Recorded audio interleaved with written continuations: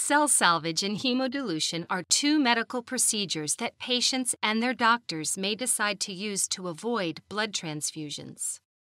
Both procedures involve using the patient's own blood, and the surgical team makes every effort to ensure that the patient's blood never leaves the closed surgical system. Cell salvage is a way to recycle a patient's own blood during or after surgery.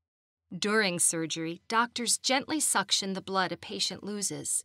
This blood is collected in a container called a reservoir, where blood thinning medicine is added so the blood doesn't clot.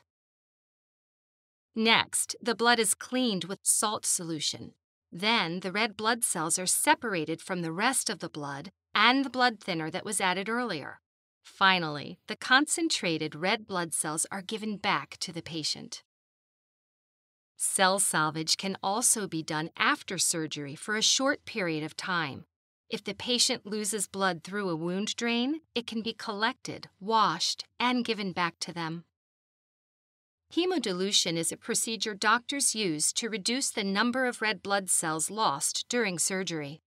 It involves removing some of the patient's blood at the beginning of the operation, putting it on rockers to prevent clotting, and replacing it with non blood liquid to maintain the right volume of blood.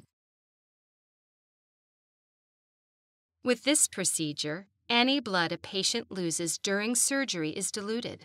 That means the patient loses fewer red blood cells. At the end of surgery, the blood removed at the beginning is given back to the patient. Cell salvage and hemodilution can be used individually or together as part of an overall strategy for conserving blood during bloodless surgery.